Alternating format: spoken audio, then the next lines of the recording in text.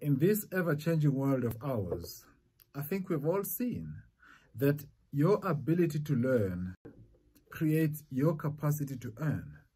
So if you're not willing to learn and to develop skills that will set you apart, you'll be left behind. It means your capacity to earn will be almost nothing. And don't be surprised when opportunities don't come your way because you're not ready. So develop yourself and go for it.